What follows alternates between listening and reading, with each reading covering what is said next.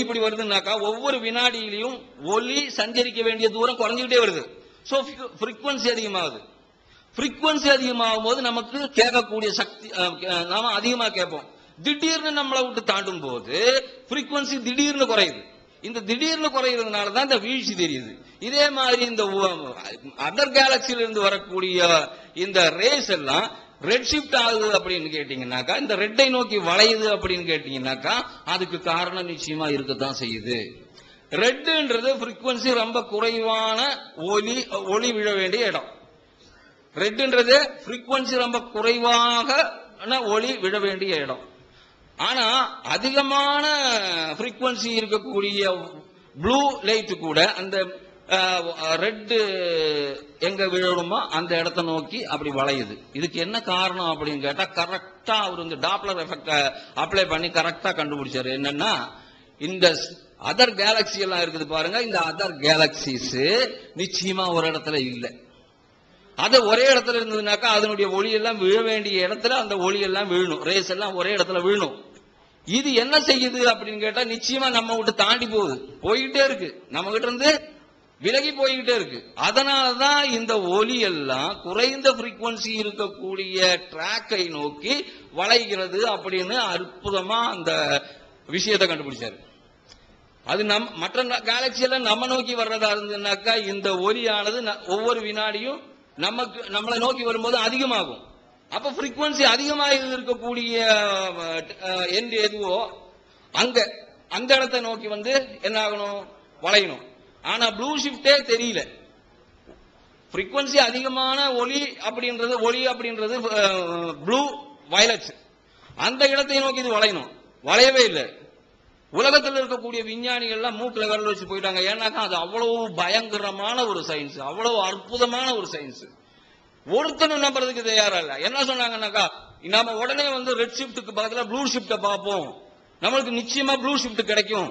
நமக்கு நிச்சயமா ப்ளூ ஷிப்ட பார்க்க போறோம். அப்படின்னே பத்து பதினஞ்சு வருஷம் பார்த்துட்டு இருந்தாங்க. செய்யற ஆய்வுகள் முழு எல்லாமே ப்ளூ ஷிப்ட் காட்டவே இல்லை ரெட் ஷிப்ட் மட்டும்தான் காட்டுது. இதுல இருந்து தான் முடிவுக்கு வந்தாங்க. என்னன்னு? இந்த பே- இந்த பேரண்டம் பேரண்டம் அப்படின்னு சொல்றது அண்ட சராசரங்கள் அனைத்தையும் உட்படுத்தி இருக்கக்கூடிய இந்த மாபெரும் பிரபஞ்சம். அதுதான் பேரண்டம் அப்படின்ற தமிழ் வார்த்தையில யூனிவர்ஸ் அப்படின்ற ஆங்கில வார்த்தைக்கு நாம வந்து அர்த்தமா வச்சிருக்கோம். அப்போ இது ஒரே மாதிரி இல்ல. இது விரிவடைஞ்சுக்கிட்டே போகுது. எக்ஸ்பேண்ட் ஆகிட்டே போகுது. அப்படின்னு நிரூபிச்சிட்டாரு. இப்பதான் சிக்கல் வந்துருச்சு. சரியான சிக்கல் வந்துருச்சு இப்போ. என்னன்னா இது இப்ப எக்ஸ்பேண்ட் ஆகிட்டே போகுதுனாக்கா இந்த டேட்ல இந்த தூரத்துல இருக்கு. அப்ப ஒரு லட்சம் வருஷத்துக்கு முன்னாடி எங்க இருந்திருக்கணும்? இன்னும் கிட்ட நெருங்கி இருக்கணும் இன்னும் ஒரு கோடி வருஷத்துல என்ன இருக்கணும் இன்னும் கொஞ்சம் கிட்ட நெருங்கி இருக்கணும் இன்னும் ஒரு நூறு கோடி வருஷத்துக்கு முன்னாடி எப்படி இருந்திருக்கணும் இன்னும் நெருங்கி இருக்கணும். இன்னும் ஒரு நூறு கோடி வருஷத்துக்கு முன்னாடி இன்னும் நெருங்கி இருக்கணும். எவ்வளவு கோடி வருஷத்தை நம்மளால சுருக்க முடியும்? அப்படியே குறைச்சிக்கிட்டே வர முடியும்னு கணக்கு போட்டோம் அந்த கணக்கு கூட ஹப்பிள் தான் போட்டாரு.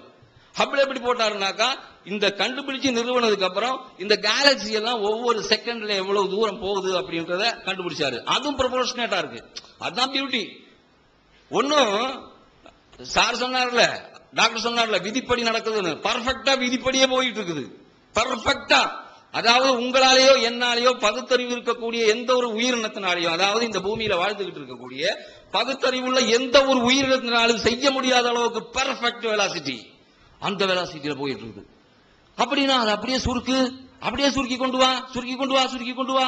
சுபஹானல்லாஹ் என்னாச்சு இப்போ? கிட்டத்தட்ட ஆயிரத்துல இருந்து ரெண்டாயிரம் கோடி வருடத்துக்கு உள்ளார ஒரு குறிப்பிட்ட பீரியட்ல இது அத்தனையும் ஒன்று சேர்ந்து ஒன்னா இருந்திருக்கணும். ஒரே ஒரு அணுவா இருந்திருக்கணும். அப்படின்னு காணல் லிமாய்ச்சர் என்ற விஞ்ஞானி சொன்னான். காணல் லிமாய்ச்சர் என்ற விஞ்ஞானி சொன்னான். இதுதான் டாக்டர் சொன்ன அணுவா அப்படின்னு சொல்லி போட்டு நினைப்பீங்க? இது இல்ல அது. அவர் சொன்னது ரொம்ப அதாவது ஆட்டம் அளவுக்கு இருக்கக்கூடிய அணுவை பத்தி சொன்னாரு. இப்ப சு- காணல் லிமாய்ச்சர் என்ன சொன்னாரு அப்படின்னாக்கா இது அப்படியே சுருக்குனா அதனுடைய பொருள் எவ்வளவு இருக்கும்? அப்படியே சுருக்குனா எப்படி சுருக்க முடியும்? சூரியனை கொண்டு வந்து பூமியில வைக்கலாம். நட்ச- மற்ற நட்சத்திரங்களை எல்லாம் கொண்டாந்து ஒன்று சேர்த்துடலாம். அப்படி சேர்க்கறதா? இல்லை இன்னும் அதை வந்து இறுக்கமா இணைக்க முடியுமா? முடியும். ஏன்னாக்கா இந்த பொருட்கள் எல்லாம் மாலிக்கூலால் உண்டாகப்பட்டிருக்கிறது மூலக்கூறுகளால். மூலக்கூறு என்பது அணுக்களின் தொகுதி. அணுக்களின் தொகுதிக்குள்ள இந்த மூலக்கூறுகளுக்கு இடையில அதாவது ஒரு மூலக்கூறுல ஒன்றுக்கு மேற்பட்ட அணுக்கள் இருக்கும். இந்த அணுக்களுக்கு இடையில இடைவெளி இருக்கு. ஏராளமான இடைவெளி நூறுக்கணக்கான மைல்கள் நினைச்சுக்காதீங்க. கம்பேரிசன்ல சொல்றேன். அணுன்றதே கண்ணுக்கு தெரியாத ஒரு பொருள். அந்த அணுவை விட பல நூறு மடங்கு ஒரு அணுவின் அளவு என்னவோ அதை விட பல நூறு மடங்கு இடைவெளி இரண்டு அணுக்களுக்குள் இருக்கிறது. அதை சுருக்கிப்போ அதையும் சுருக்கி பார்த்தாச்சு கணக்குல. சுருக்கி பார்க்கணும் போதாது. இன்னும் இடம் இருக்குது. அணுவுக்குள்ளேயே இடம் இருக்குது. மாலிகூலுக்குள்ள இடம் இருக்கு. ஓகே அதை சுருக்கிட்டோம் இப்போ. இப்ப இன்னும் சுருக்கு. எது வரைக்கும் சுருக்கலாம்? அணு அப்படின்றது மூன்று அடிப்படை பொருட்களால் உருவாக்கப்பட்டிருக்கிறது. அடிப்படை பொருள் அப்படின்றது ஃபண்டமெண்டல் பார்ட்டிகள்ன்றது தப்பு. எனக்கு ஃபண்டமெண்டல் பார்ட்டிகள் இது இல்லை அப்படின்னு பிறகு ப்ரூவ் பண்ணியிருக்கேன். இப்போ நான் ஒரு பேச்சுக்காக சொல்றேன். மூன்று அடிப்படை வஸ்துக்களால் செய்யப்பட்டிருக்கு. ஒன்று புரோட்டான் இன்னொன்று நியூட்ரான் இன்னொன்று எலக்ட்ரான் இந்த மூன்று அடிப்படை துகள்களால் இந்த அணுவானது உருவாக்கப்பட்டிருக்கிறது. இந்த அணு என்பது ஒரு பெரிய பிளே கிரவுண்டுன்னு வச்சுங்க ஒரு பெரிய பிளே கிரவுண்டு அதுல ஒரு கடுகு கொண்டு போய் வச்சா எவ்வளவு இருக்கும்? அதுதான் அந்த அணுவுக்குள்ள இருக்கக்கூடிய நியூக்ளியஸ் இந்த நியூக்ளியஸ்ல தான் இந்த பூரா வெயிட்டும் இருக்கு.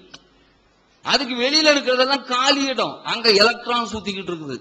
சோ இந்த இடத்தையும் ஃபில்அப் பண்ணு. அந்த இடத்துலயும் ஃபில்அப் பண்ணும் எல்லாம் கிட்ட- கிட்டத்தட்ட ஃபில்அப் பண்ணி பார்த்தா குறைஞ்சபட்சம் நம்ம வியாழன் கோள் இருக்குது பாருங்க ஜூபிட்டர் பூமி எவ்வளவு பெருசு இருக்கோ அதோட நூறு மடங்கு பெருசு ஜூபிட்டர். அந்த அளவுக்கு பெரிய ஒரு அணு இருக்கணும் அப்படின்னு சொல்லி சொன்னாங்க. இந்த அணு தான் கிடைச்சதுன்னு கானல் லிமாயிட்டர் சொன்னார். அதுக்கு பிறகு கானல் நிமாயிட்டர் இது சொன்னதுக்கு பிறகு மீண்டும் ஆய்வுகள் நடக்குது. சில பேர் சொன்னாங்க வியாழன் கோள் வரைக்கும் எல்லாம் இருந்தா போதாது. அது வந்து இந்த சோலார் சிஸ்டம் எந்த அளவுக்கு பெருசோ அந்த அளவுக்கு இருக்கணும்னு சில சொ- சொன்னாங்க. இருக்கட்டும். யாரோ சொன்னாங்க அந்த மாதிரி. அதுக்கு பிறகு மீண்டும் ஆய்வுகள் நடக்குது. மீண்டும் ஆய்வுகள் நடக்கும்போது ஹாக்கிங் தான் இந்த தியரியை சயின்டிபிக்கா மேத்மெட்டிக்கலா அனலைஸ் பண்ண ஆரம்பிச்சார். அவரு தான் டாக்டர் கூட அந்த ஹாக்கிங்கோட பேர் சொல்லியிருக்கிறாரு. அவர் என்ன நிரூபிச்சாரு அப்படின்னா ஒரு காலத்துல இந்த பொருட்கள் எல்லாம் நெருங்கி இருந்ததுன்னு சொல்லக்கூடிய அந்த நேரத்தில் ஒரு பெருவெடி திடீர்னு ஒரு வெடிப்பு நிகழ்ச்சி நடந்ததுன்னு நாம நம்பிக்கிட்டு இருக்கிறோமே. ஆனா அந்த வெடிப்பு நிகழ்ச்சி நடக்கும் பொழுது அங்க ஒண்ணுமே இல்லை. அதான் பியூட்டி அந்த வியாழன் கோள் அளவுக்கு காணொலி மாதிரி சொன்னாரு. வியாழன் கோள் அளவுக்கு ஒரு பெரிய ஆட்டம் இருக்கணும் அப்படின்னு சொன்னார்ல. அந்த மாதிரி ஆட்டம் எல்லாம் அங்க இல்ல. அது வந்து பெருவெடிப்பு நிகழும் பொழுது ஜீரோ சைஸ் அதனுடைய சைஸ் என்ன? Zero size a brief history of time அப்படின்ற நூல்ல அவர் சொல்லியிருக்காரு. பெருவெடிப்பு நிகழும் போது ஜீரோ சைஸ் கற்பனை பண்ணி பார்க்க முடியுதா? சூன்யங்க சுத்த சூன்யம். அந்த சூன்யத்துல இருந்து வந்திருக்குது இந்த பேரண்டம். எப்படி வரும்? அறிவியலால பதில் சொல்லி பார்க்கலாம். பதில் சொல்ல முடியுமா? சூன்யத்துல இருந்து இவ்வளவு பெரிய பேரண்டம். அது எப்படி வந்துச்சு? அழகா விளக்குறாங்க. அழகா விளக்குறாங்க. எப்படி சொல்றாங்க? ஒரு ஆள் ஒரு வசனம் இருக்குது பாருங்க. ஏதேனும் ஒரு பொருளை நான் படைக்க நாடினால் அதனிடம் ஆகுவே என்று சொல்லுவேன். உடனே அது ஆகிவிடும். ஒரு செகண்ட் டைம் கூட அல்லாவுக்கு வேண்டாம்னு அர்த்தம் அந்த வசனத்துல. இங்க இருக்கக்கூடிய நாத்திக நண்பர்கள் இதை நம்ப வேண்டும் என்பதற்காக சொல்லல. நாங்க எக்ஸாம்பிள் சொல்றோம். அது உங்க இஷ்டம் நம்புறது நம்பாதது உங்க இஷ்டம். அது உங்களுடைய இஷ்ட பிரகாரம் நீங்க முடிவு பண்ணிக்கோங்க.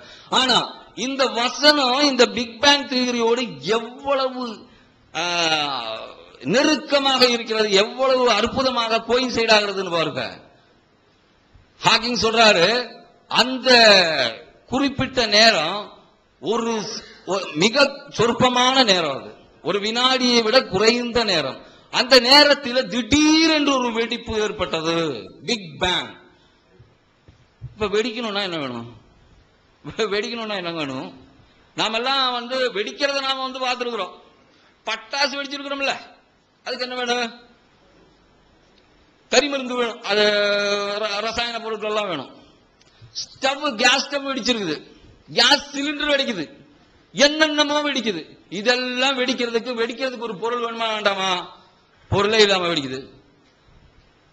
இது எப்படி நடக்கும்? இது எப்படி நடக்கும்?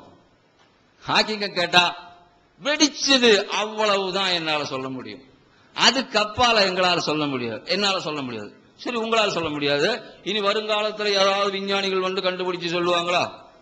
மனிதனுடைய இங்கதான் நீங்க கவனிக்கணும். மனிதனுடைய விஞ்ஞான அறிவு என்பது பிக் பேங் எந்த பாயிண்டில் நடக்கிறதோ அந்த பாயிண்ட்ல முடமாகி போய்விட்டது.